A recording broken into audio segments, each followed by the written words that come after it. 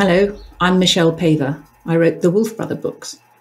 Nearly 20 years ago, when I was just starting to write Wolf Brother, my soon to be publisher, Fiona Kennedy, said she was thinking of getting an artist to do some illustrations, one for each chapter and a map.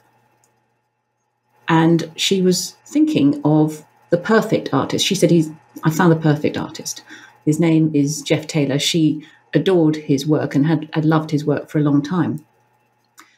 Well, I, I wasn't familiar with Geoff's work at that time, but I thought it was a, a great idea.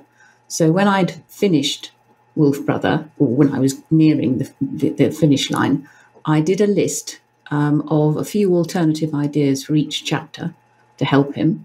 And then that was sent off by Fiona. And then a few months later, she sent me Geoff's drafts and his draft map. Wow. Um, I was I was completely bowled over. This was a different order of pictures that I than anything I had imagined. And I think I wrote back with a few tweaks, but and then Geoff produced the finished amazing pictures. And that actually is the way we continue to work. Me sending a list, Geoff sending the most amazing pictures, me running out of superlatives um, for all six books of Chronicles of Ancient Darkness. Um, and then the three that I've done recently Viper's Daughter, Skin Taker, and latterly uh, Wolfbane. Fans all over the world have loved Geoff's artwork for the Wolf Brother books, and not only for the Wolf Brother books. I mean, Geoff has done illustrations for such luminaries as J.R.R. Tolkien and Roger Zelazny um, and David Eddings, uh, Warhammer. Too many to name, actually. Yes. as well as the most, I mean, he's a very, very talented uh, wildlife painter and photographer. But back to Wolf Brother. Um, that way of working, me sending a list and Geoff sending back the most amazing pictures. That went on for nearly 20 years. Uh, and it's worked so well that we've actually always just communicated by post. Um, we've never actually met uh, or even spoken uh, until now. So it's with great pleasure that um, I can now welcome Geoff Taylor and say, hello, Geoff. Hi it's it's so great finally to meet you. Um, I don't know. It may feel a bit weird. Does it feel weird to you to finally meet? Absolutely. yeah, sure. Yeah, I mean, it's like you said, when you said 20 years, I didn't realize it was that much time. I, mean, I just, I mean, there are nine books in all, and there was a hiatus after the Yes. Six, you know, six That's right. And um, so, yeah, so it's, it's, it's been, well, I've, I've got to say, it's been a massive part of my life as well.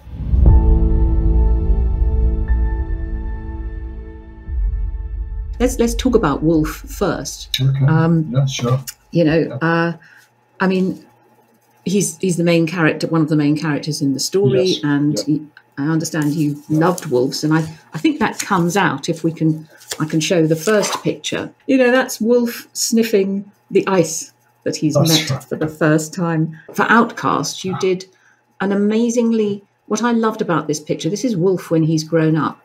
What I love about this is it shows his wolfiness.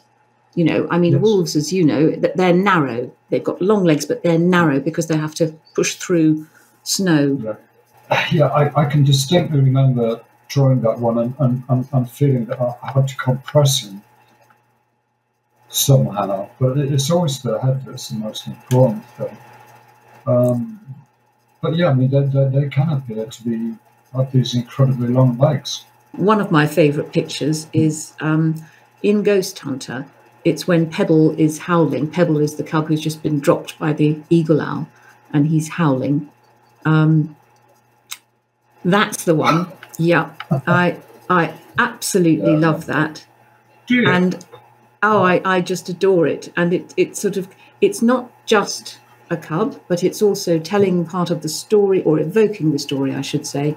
Um, and he's so desperate, but it's not sentimental. Um, I mean, I've just, if I'm looking tired, it's for a good reason because I've just spent three days in the recording studio with Ian McKellen, who last night finished reading Wolfbane.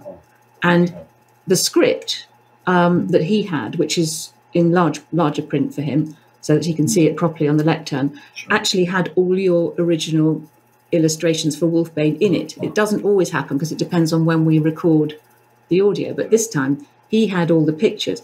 And it was so great um, because he was looking at them and saying, "Oh, this is amazing." And one of the things he said was that he loves that that the, there's nothing cutesy about your Mm. evocation of wolves at all.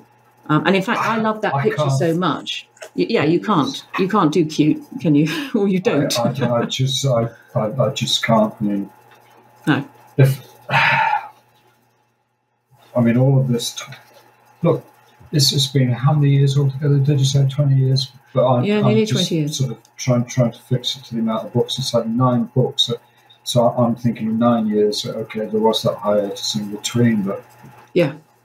what I feel is a total shame is that I'm only just beginning to get the hang of it after all that time. No, Um, you're not.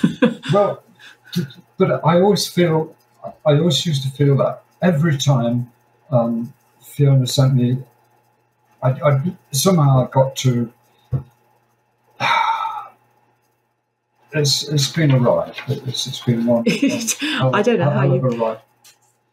Right- And I can tell right. you one thing. Let me just show you because I've actually got what I think is an original print or the original. I'm not sure, but this is what Fiona bought me when I ah. finished. I thought I'd Oh, finished the series, That's the same. and this, yeah, and this is you know it's been Oh. framed and it's it's it's above my computer ever since when I've Oh. been ah. writing. Even when I Oh. thought I'd finished wonderful. writing Wonderful.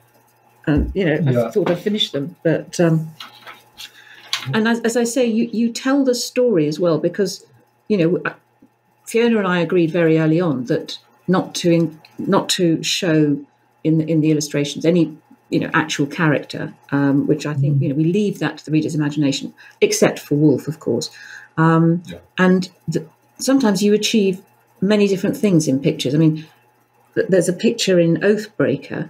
Wolf has just, I won't include a spoiler, but Wolf has just found something out about Tor, Talus that, you know, makes him feel very alone. And there he is, silhouette. You've got the forest, you've evoked the forest as well. Um, but you've got this incredible loneliness of, of poor Wolf.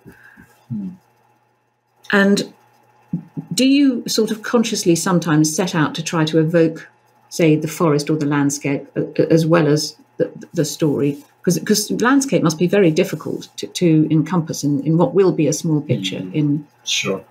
Yeah. yeah I, I, I, I would say so. But with that Mm. one, I feel I really cheated with that one. I mean, I sort of very. no, I, I, absolutely, I, I did say a, a lot of it was smoke and mirrors, but um, I, I can't. I, I need to have, especially with anything to do with a wolf. Mm. I, I feel it's got to be accurate. I, I can't. Yes. Um, Yes. It can't just come out of my head. Um, i so agree yeah yeah, I mean, it's it's that that's that's just the way that I see things. So, I mean, in some ways, I, I feel that I've gone overboard with the detail, with the cross hatching. I just i don't th- you see i don't think so i mean yeah, well, to me, it's over precise, and I would I, I would really like to. Each time I think I'm I'm going to loosen up. I'm going to do something. And, and the only time when it seriously works for me is when I've managed to get away from this formula that I. Well, it's, Mm. it, it's, it's never been a formula. no no It's been like a groove that I got. Well, you see, that, that, that's really funny, Geoff, because I I love these. I mean, look, you know, I think we're we, we're on the same page in terms of detail, you know, and that's probably mm-hmm. why Fiona thought you'd be the perfect artist as you are, because mm. to illustrate my books, because you know, I'm obsessive about detail, as you can probably tell from the author's note, you know, and, and so, yes, I have to check everything far more detail than goes in the story. The idea I had was perhaps evoke the Stone Age world partly through artifacts. Artifacts, yeah, sure. And I've, I've never been sure whether this was something you- thought, oh, God, she's got some artifacts that she wants me to, you know, because it's it's quite No, difficult to make on. them artistic. But you know, I mean, here's Torak's medicine horn. You know, this is actually Yes. the one, and you, you may remember in Oathbreaker, I sent you a, Oh, a rubbish um, Yes. picture of this. It's it's got sellotape because to stop the I, top. I was going to say, yeah, right. yeah, it's full of earth blood, which gets everywhere. Yeah, now this is from Wolfbane actually, so fans won't have seen this one yet. But there we have we have Torak's hand, but we're not seeing him. And then a wonderful, and that also shows pretty much the size. It's slightly bigger than the one I, you know, my, my little medicine horn. But does your heart sink when I, I, I put list in- the list? I put an artifact and give you a website or a picture or something. Oh, it's supposed to be Torak's hand, and I use my own hand for reference, and I've got I, I've got quite an ancient hand by now, so that's that's not very precise, is it? No, no, no. But Um, it, it, it could be Fin-Kedinn's because they pass it over. So frankly, it could be Okay. either. You know, um, it's, Yeah. it's um, Okay, but uh, it is a slightly different colour, isn't it? I mean, it's, it's that's a very light light colour one, but um, no. no. but but do you yeah, does no- your heart the- sink? No. wh- Why? Is it- why? Well, you know, I just thought. I mean, an artifact is an artifact. It's not as dramatic as, you know, a, a- wolf running Oh or no, something. no, no, you know. no, no! But it's, it's no, no. It's, it's all part of the story. Oh no! I, I, I mean the, the the axe heads and um, I can remember the axe heads and it Yes. had this elaborate sort of sinew binding around them, binding Exactly. the um, and the birch bark horn. And, and that I, I thought you know the birch bark horn has, has been mentioned in you know Wolfbane uh, Wolf brother Hmm. um, and then because Fin-Kedinn uses it, and then I thought I don't think anyone would really. Many people haven't seen them. I've seen them, and I've heard one played.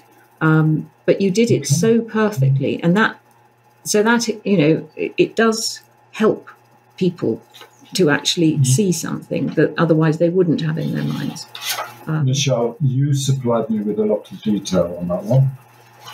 I did. I've actually got it here. And I, I look on the internet. Oh right, And there we are. It's, it's the, um, the the one in the middle. Yeah, sure. Okay, because No, yes, I, I was trying to think what I did because there, there are not that many of them around these days. But um, but the other aspect of the, the Stone Age that I think really comes through, and this touches on, you know, you were talking about perhaps being over precise, but there are areas where you were just not precise in, in a wonderful way, is is to create the sort of otherworldliness, the, the numinous, the spiritual side of, of the Stone Yeah. Age. The handprint, for example, um, in Soul Okay. and somehow you manage there to get it make it sort of seem like a warning you know it's it's a Oh, really? scary handprint yeah i Oh, think so really? i remember that i mean this there's one i think this would be an example and i haven't got the earlier sketch you know creates such a sort of nasty picture spooky Yeah. and uh stone age as well and there's there's a sort of face in that tree if, Yeah. if you look at it um I think that might have been intentional, but I'm really not quite sure on that. Well, it certainly, I think that developed from the original that I'd seen because certainly in the sketch, you know, it wasn't quite as as alarming, um, and and it it got spookier um, in a wonderful way. You're quite harsh on yourself, Geoff, because you were saying, "Oh, I'm too detailed and everything," but you know when not to be detailed. Um, that there's a picture in Oathbreaker that whenever I think of that book, that's the picture. That picture comes to mind. Somehow you've got this feeling that he's coming towards you, and it's really spiritual and otherworldly and Stone Age. Surely, tell me you're pleased with that one. No. I just, wish I could have done better with that one. Um, and I, I can see the image in my head, but yeah. it's just realizing that image, and I don't think that. Well, it certainly didn't. If I say it didn't work for me, it, it, it must have done it. Otherwise, I wouldn't have handed it over. Another way that you have brought the atmosphere of the stories and the locations has been the maps. You know, the end paper maps. The first one is is, is the Spirit Walker map of the Seal Oh, Islands. Yeah. um, it's it's my least favourite job. I have to say is tidying up the sketch map that I've used for you know writing the story, which has got lots of corrections because I change things to fit the story as I go along, Mm. and then I've got to do a tidier version for you. And, and that you know I think oh gosh how is Geoff going to you know how is this going to work how are you going to be able to make it work and you do But I try not to make so many mistakes with a map. It's just unbelievable. and all the clans moving around you know the, the, the map of the forest when you know they're nomadic i can't get away from this is where you know we are slaves to detail aren't we they are nomadic Well, people well, so have to yeah. keep tra- Yeah. you know Looking at that one now, I think, yeah, yeah, that's that, that's okay. That's got a really, really cool It's- map. And i'll show you just just one other one which i have to say when i saw it i was mostly looking at the map element and then i saw what you'd done to the side of it and it, it actually made me gasp.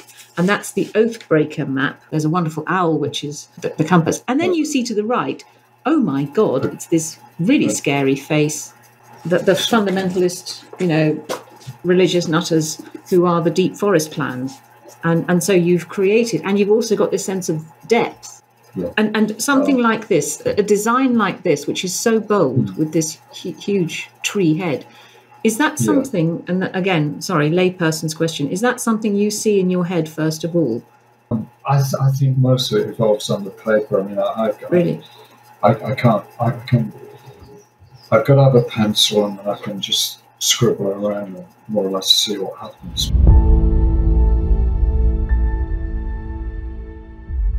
You know we've talked about wolf we've talked about creating this the stone age world but there are loads of other creatures in Torak's world you know apart Yes. from wolf um, and I think some of some of the, the, the illustrations have achieved a number of different things because in some ways you know I, I deliberately su- suggest certain things because I want to show that things were different in the Stone Age. I mean, horses, for example, that's Oh. more like a Stone Age horse. I was given choices of, of, of things I could illustrate, and the, the one that I thought I'd be able to illustrate. This is what we call, or, or Americans call, a moose. Whereas Yes. in America, it all gets very confusing. What they call an elk is a kind of large deer. Hmm. I, I've met elks in the past. I don't know if you've ever seen any in, in real life, but they are absolutely I weird saw- creatures. Yes, they are. I saw one once, but it was a great distance. But uh, yeah, I mean, it's quite recognisable. I'll, I'll, And then- I'll go on Park in, um, Oh, really? yeah, You see, I've I've followed elk tracks in Finland for about three hours, um, but I never actually saw the elk. uh, it always seemed to just just get away from me. They're they're huge animals, but they move so quietly. You know, they just disappear. Yeah. But still, on the I just this is one that I just love. This is from Viper's Daughter. Chapter it, it's chapter eleven. Um, this is a halibut, which is just the weirdest creature. Um, Ah, it's I have to say it's it's you know I've eaten halibut loads of times, but the first time I actually saw a real halibut was in Greenland when they pulled one out of the sea. But uh, it, that's so great because you know they do have both eyes sort of squidged up on one side because yes, they they lie on their, their bottom Yeah. feeders. So, yeah, I, and, uh, I wasn't too. If so, I wasn't too keen on that on myself. oh, Um, yeah, it didn't quite make it. Um, yeah, well, so let me then. sorry about that, Michelle. But mean, Not at all. I love that one, but this is one yeah, I think this may pass even your stringent test. All right, you're very hard on yourself, Geoff, but no, I mean, animal animal portraits. Yes, you are. But this one, this is um, from Spirit Oh, Walker. That is a portrait of a raven. Raven. I mean, I've got close to ravens in Alaska. There were some sort of hopping around on a um, a quay, and I was sort of feeding them. Do you have ravens? I know you live in the most amazing uh, Oh, yeah. area of outstanding natural beauty. Do you have ravens Oh, near you? Um, yes, here than most days. Um, Oh, you but lucky. They're, they're generally flying over. Um, Oh. I, I can go out the back and quite well. I don't know whether they're still doing it, but they they're doing all this amazing display in the sky, Yes. falling out of the sky, turning, turning out absolutely incredible. Yeah, um, yeah. I mean, they're they're here every day, every day, Oh. right. Do you like them? Do you like ravens? of, of course. yeah, yeah, I, I thought yeah, as much. I. I, I kind of thought the answer was Yeah, no, no. We, we've not had them in our garden. right. They, they, as I say, they come over regularly. Wonderful birds, absolutely incredible. Well, they are, and I envy you having them because well, we have crows, but we don't have ravens Yeah. in Wimbledon Common. Yeah, Um, Yeah. But I think it comes through. I mean, Rip and Wreck. Um, actually, yes, that there's one sneak preview for fans from Wolfbane. This is Rip and Wreck in attack mode, and I, I love that. And then one of my favourite portraits, um, and this just shows how how you, Geoff, sort of develop from what I say um, in my little list. You know, I mentioned this list that I send you. Um, I'm usually really tired because I've just finished the book or just about getting there. And for Spirit Walker, I think it was chapter nine. Um, I said, well, I gave you. It's about a male boar, a wild boar, and I said, well, it could be charging, it could be pawing the earth, it could be tusking a branch or the roots of a tree. Now, yeah, that is so brilliant because that's really more of a portrait of that boar. He's actually a character because yes, he he you know he was quite friendly to Torrent to begin with, and then he goes mad for various reasons. I just love that. Um, oh, I'm so pleased because, yeah, yeah, you can't quite, yeah, no, okay, fine. that there's a lot of subtlety in that. You know that there's is he going to kill me or is he going to be friends to me? You know he's he's and they're they're so clever. Wild boars are, are clever animals, and you've got all of that Oh, in there. Sure. Yeah. Um, The, the, there's also a lot of cross hatching in there as well. yes, Uh, it hides a lot, a lot of sins, I suppose. But Well, you, you you've mentioned that before, but to me, the cross action hatching gives such sort of depth and complexity in everything. Um, Well, some people can lay these things down with a few brush strokes. They can be very bold with it and very spontaneous. But yes, that, if I say that cross hatching tends to not hide things, but it can. It's not.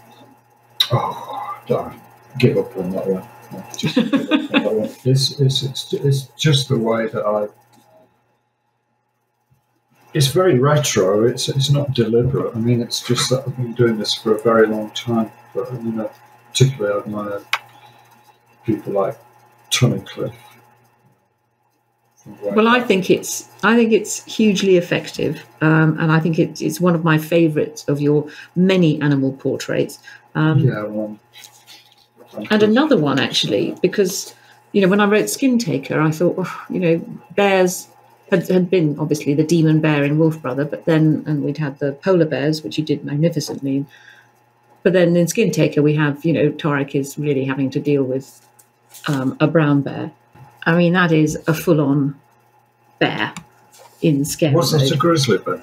Was that a grizzly bear? I can't remember. Well, um, it would. It's the same species, but it's called a brown bear. In I think it's the same species. Fine. Yeah, Yeah. It's, because it's Europe, it's a brown bear. Um, perhaps grizzlies are slightly bigger, but yeah, pretty much. And I, I do think that was magnificent. With a startled "Phew," the bear rose to its full height and stared at Torak, and that's pretty much what's happening there. We had six books, and you you you went through all the business, and it was, I should say, under a great time pressure because I was under time pressure. You know, it was a book a year, and it was always right up against the publishing deadline, and I only ever could send you my list of illustrations mm. when I knew, you know, I'd, I'd done the, the, the rewrite, really, what I call the rewrite. You know, the first draft is a complete mess. Um, so it would be unfair to send you a list because things are going to change. Um, Sure. So it was always under a lot of pressure. But then finally, you know, I finished six books and you must have heaved a sigh of relief. And then about 10 years later, Fiona gets in touch and says she's going to write three more. Um, did you find it hard to get back into Torak's world?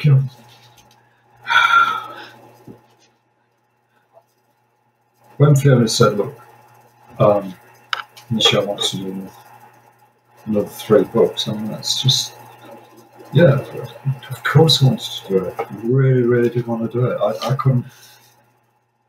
And I have to say, you you have outdone yourself. I know I say this every time, but you know, for Wolfbane, um, and again, without spoilers, um, you know, you su- you surprised me. You had some surprises because there are several glorious full page or even double page spreads that Ah, I didn't Yeah. know were coming.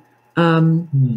I think as a sneak preview for fans, we can show one of them. I mean, I I just love that.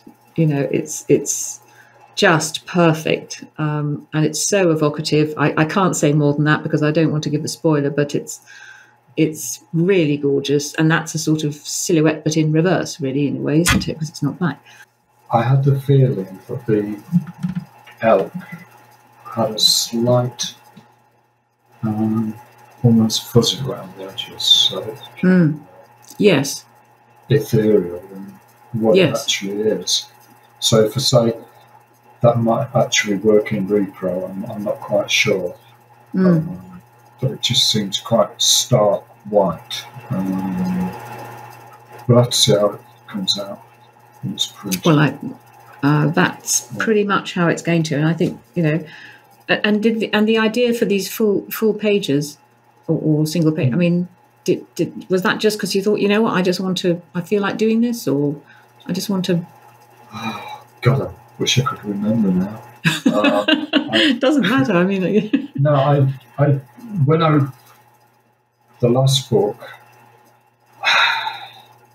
I was very moved mm, by the end of the book.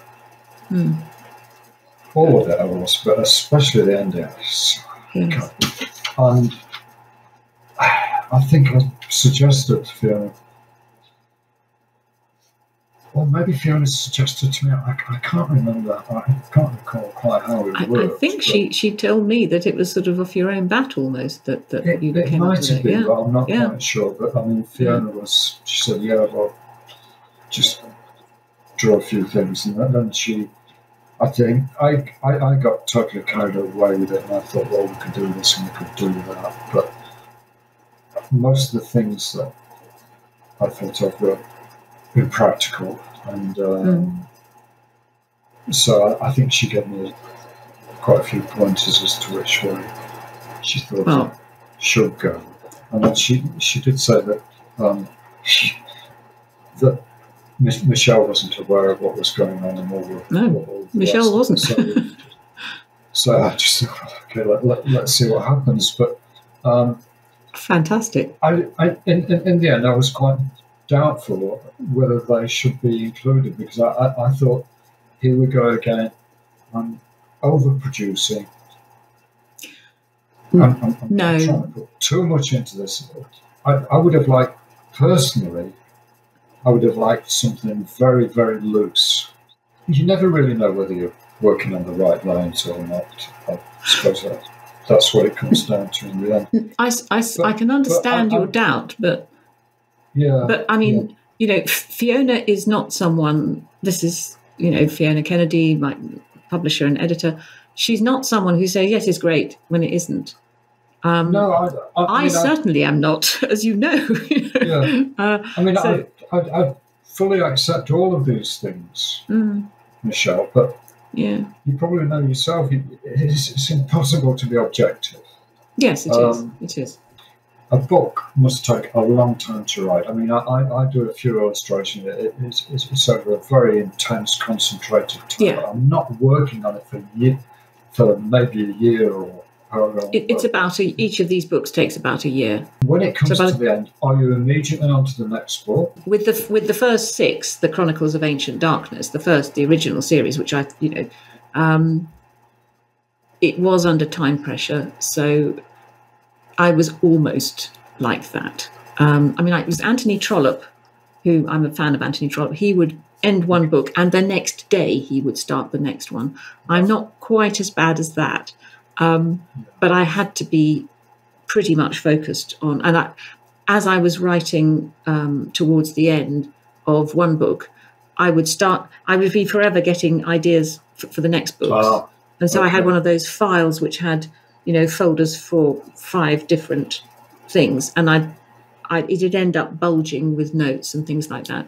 Um, so then there was usually a sort of, you know, it wasn't like starting to write again, but it would be Mm. tidying my notes and getting my head around what was happening.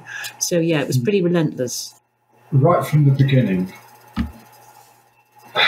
you wouldn't have known how the last book would have worked out. I mean, you, you wouldn't. There wouldn't be that structure. No. So, is a lot of it evolutionary? Does it?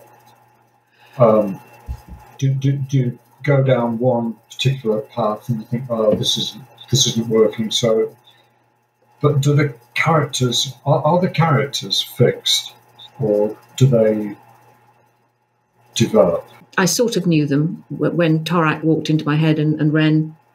Hmm. But they are probably the things that change most because I get to know Yes. them most, I get to know them better. So, so for example, in Spirit Walker, um, at the beginning, I had planned, because I am a planner, that you know Renn would only be with Torak for the beginning of the book, and then he'd go off Yeah. to the Seal Islands. Yeah. But you know, she's not like that. Um, so Yeah. that was quite inconvenient. I had to change my plan for Spirit Walker because that did involve some major changes. No spoilers, but I knew there was something odd about Fa's knife in chapter one of Wolf Brother that we'd Sure. only find out about in uh, Outcast. You know, because you have to have those sort of details. And I knew roughly what was going to happen at the end of each book.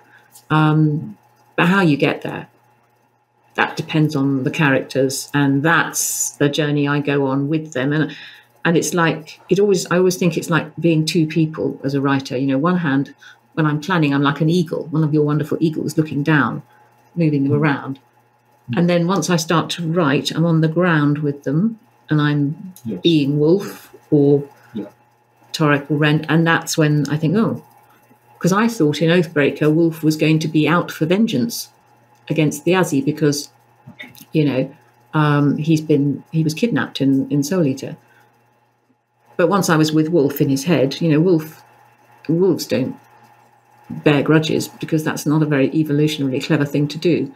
Um, if someone's hurt them, they just avoid them. Sure. So that made me, that then led me to Wolf realizing that Torak is not Wolf.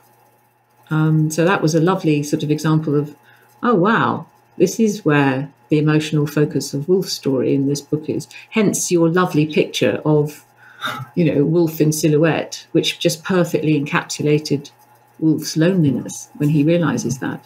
So that's an organic process. Can you turn off from it at all? Can you escape? Not really. Or- or- no, that's so, such a great question. I mean, yes, I can sometimes, you know, if I'm in Sainsbury's or something, yeah, you know, but um, it, it, yeah, you know, it, it'll But, it'll um, always be there. Um, and and you know, Sainsbury's is a good example because I don't have a car, right? so to get to Sainsbury's, I have to walk Right, across the common.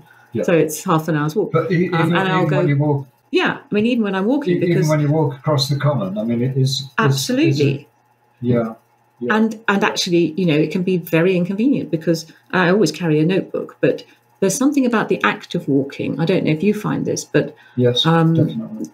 that that you know the romans had a phrase for it they called it solvitur ambulando you know which i think is solution through walking there's something physiological that's happening which quite often i'll have been stuck with a piece of prose or something or a scene Hmm. once i start i think okay go to go to the shops Hmm. and then I'll start having the ideas, or at least know the question I've got to be asking myself. So quite often I'll stop in the middle of the common and just jot down ideas and Yeah. things like that. Because it, it, um, it resolves itself al- almost Yeah. naturally, doesn't it?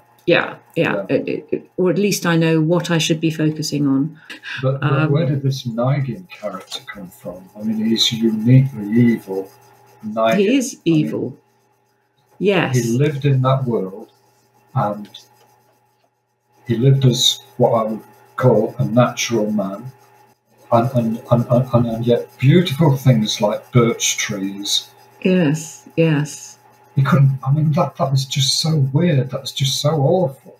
Uh, Yeah, oh, I'm glad you like. that- Yes, Well, that's a great that's a great question. I'll I'll tell you. I I was trying to think of an antagonist for the books, the, the later books, and he's a psychopath in modern in modern terms. In modern terms, he's a psychopath. And then I thought, well, yes, actually, you know, that's what a demon, no sense of right or wrong, cold beyond imagining, no empathy. Um, and as soon as I had that psychologically, that gave me Naiginn. But it makes perfect sense in Stone Age psychological terms that they would think he's a demon.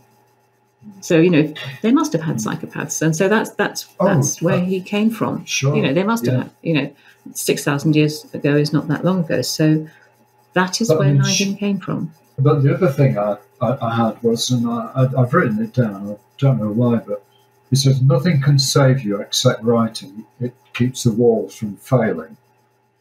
And that's a quote from Charles Mm. Bukowski. And I thought, yeah, I, I, I completely understand that. You see, Yes. you're a writer, I'm, I'm not. I, I, I, if so, I'd really like to be. Um, you are I'd now, really like aren't to be. A, I'd really like to be a musician. I'd really like to Right. do all sorts of things, but I'm not. Right. I'm stuck with this sort of endless bloody cross hatching. Uh, um, so okay, I'm, I'm stuck with that, and I'll go along with it. But um, there are just so many wonderful things out there. But I understand that um, Charles Bukowski quote as well. Yes. I mean, it's Yes. more or less what you were saying about that. You, if you say you're stuck with this, whilst whilst you're involved with a book, you it, it, it, Mm. it, it it's a permanent thing. It's very very intense. It becomes your life, Yes. and it, it all it makes me wonder about. Um, uh, if I say it makes me wonder, I'm sure that I neg- neglect so many other things that I should be Oh, paying yeah. attention to. Oh, I do. If I say I, I, I feel that's a shame, it, it, Mm. it, it is a shame, but you can't do everything, can you? I mean, you've just got to. Well, you, you Um, you can't do everything, Geoff. But um, no, I know. And when, when we when we look back at this, when I just look back at what you've done, you know, in preparing for this, you know, it's been Mm. nearly twenty years, and Mm. I've I've looked at all your, you, you know, the, the books and all the illustrations, all the maps, um, six original Chronicles of Ancient Darkness, three, you know, the latest books, Mm. Viper's Daughter, Skin Taker, and now Wolfbane. At a rough count, that's about nine, ten maps. Um, I think it's in at least 300 illustrations. 300 illustrations. Uh, uh, yeah, sure. It Um, could well be. you know, and, and what you've done, everything has created, every single one has been a window into Torak's world. Um, Well, So, look, I'm you know- just incredibly pleased. But of course I am. It's, it's, it's just just wonderful. It really is. so, Uh, well, I just want yeah. to say, you know, on behalf of all the fans, uh, mm, but also from me, you know, I just want to say thank you. Well, because you did an amazing Yeah, job. It's, well- it's been an amazing ride. well, maybe one thing informs the other. I mean, I've, I've, I've kept quoting back to you some of the things that I've picked out as being quite special to me. Mm. mean, the, if say there's hundreds of them, um, would be a big list. Would be a big list. But, uh, but one that I, I, a lot of them have probably informed what what I've Mm. done. Um, so yeah, it's, it's a reciprocal thing. Can I just give you another quote? I just Why I not? don't know why. Thank you. Well, Do. There's- I don't know about other people, but when I wake up in the morning, I put my shoes on. I think, Jesus Christ, now what? That, that's also Charles Charles Bukowski. And uh, right. is, is it ever like that for you? Because it's like it's pretty much like that every day for me. Yeah, Uh, there, there have been times, certainly this pandemic. Yeah, there have been times. Um, yeah. But it's the But- but work you- that gets one through somehow. That's, you know, That's the only thing, isn't it? Mm. It's the only thing. It's not watching TV every No. hour. no, it isn't. It isn't. Certainly not at the moment. It's been so Well- fascinating to meet you. Um, Well, and Michelle, I and hope talk. it's all worked out. And I hope oh, that you can absolutely. Do something with it because I wouldn't know where to start. Well, I wouldn't either society. because it's you know I've thoroughly enjoyed it, and uh, again, you know, thank you so much Well, for what you've done for my books. You know, it's, Likewise. It's. Yeah.